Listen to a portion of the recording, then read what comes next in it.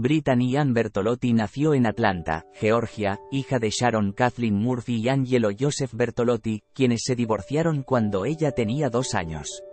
Murphy fue criada por su madre en Edison, Nueva Jersey. Bertolotti no fue mencionado como su padre en el primer certificado de defunción de Brittany.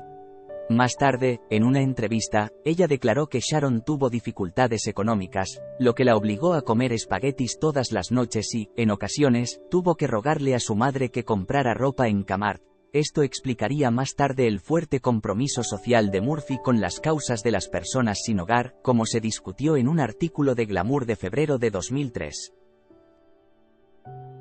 Murphy obtuvo su primer trabajo en Hollywood cuando tenía 13 años, interpretando a Brenda Dressey en la serie Dressey's Class. Luego interpretó a Molly Morgan en el spin-off de The Torkelsons, llamado Almost Home. Murphy también apareció como invitada en varias series de televisión, incluyendo Parker Lewis Can't Lose, Blossom, Sea Quest 2032, Murder One y Frasier. También tuvo roles recurrentes en Party of Five, Boy Meets World y Sister, Sister. El papel que lanzó a Murphy al estrellato fue en su segunda película, la comedia juvenil Clueless, dirigida por Amy Heckerling, la cual desarrolló un gran seguimiento de culto. Después de esto, interpretó papeles en películas como Freeway, 1996, junto a Reese Witherspoon y Kiefer Sutherland, y la comedia independiente Bongwater, 1998. En 1999, tuvo un papel secundario en Girl, Interrupted de James Mangold, interpretando a una paciente psiquiátrica problemática junto a Winona Ryder y Angelina Jolie, y también interpretó a una aspirante a reina de belleza en Drop Dead Gorgeous. Además, dio voz al personaje de Luan Platter en la sitcom animada de Fox, King of the Hill, durante toda la duración del programa desde 1997 hasta 2009, y a Joseph Gribble hasta la quinta temporada. Fue nominada a un premio Annie por su actuación de voz en el episodio Moving On Up de King of the Hill. Comenzó la década de 2000 con un papel protagónico en Don't Say a Word, 2001, junto a Michael Douglas, en la adaptación televisiva de la novela de Devil's Arithmetic, 2001, 8000, 2002, por la cual recibió aclamación crítica, y Uptown Girls, 2003. En 2003, protagonizó las comedias románticas Just Married y Little Black Book, 2004, así como el aclamado thriller Sin City, 2005. A finales de 2002, comenzó a salir con Ashton Kutcher, su compañero de reparto en Just Married, donde se conocieron durante el rodaje de la misma película. El director de la producción, Sean Levy, ha comentado sobre la relación diciendo, desde el momento en que se conocieron, estuvieron juntos, se reían todo el tiempo, hacían bromas y parecían felices. Más tarde se reveló que estaban comprometidos, debido a que tanto Kutcher como Murphy llevaban anillos, aunque nunca se confirmó oficialmente. Estuvo comprometida con el representante de talentos Jeff Quatinets, pero su relación solo duró cuatro meses. Posteriormente estuvo con Joe Macaluso en diciembre de 2005, un asistente de producción que conoció mientras trabajaba en la película Little Black Book. Cuatro meses después del rodaje de The Ramen Girl, que fue en abril de 2006, terminaron su relación.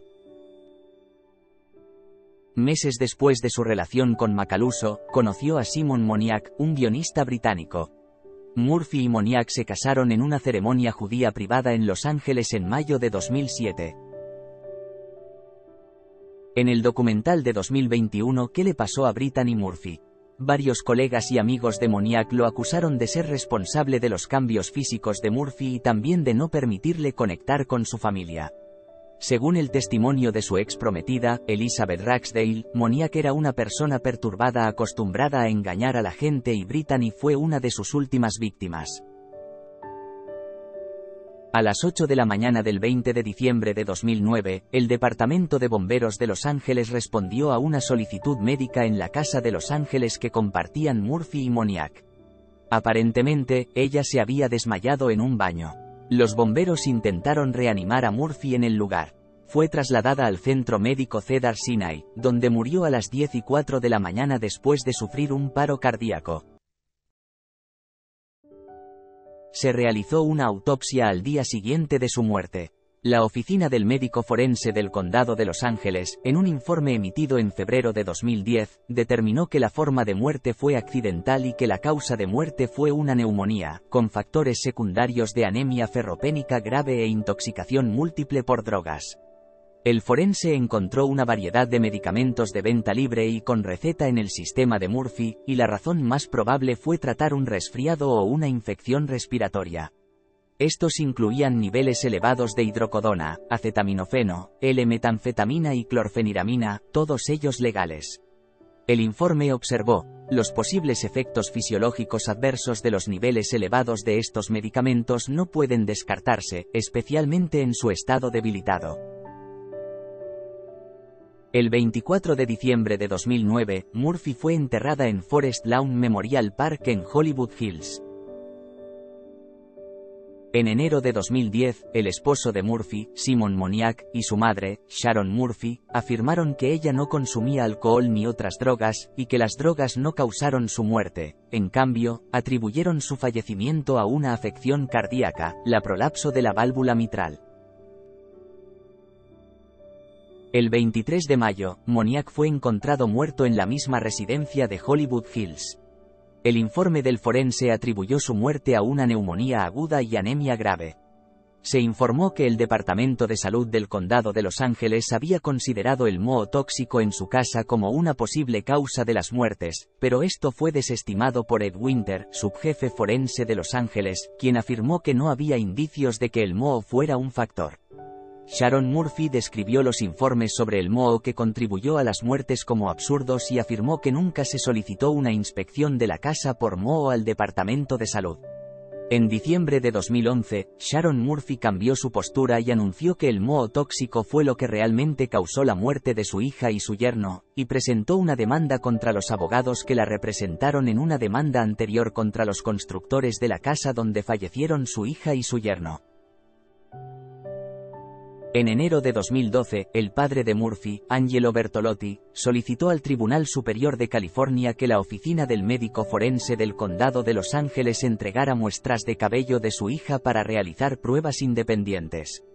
El caso fue desestimado siete meses después, luego de que Bertolotti no asistiera a dos audiencias separadas.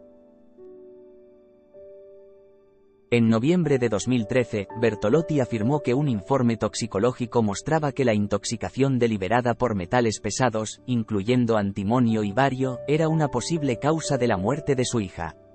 Sharon Murphy calificó la afirmación como difamatoria.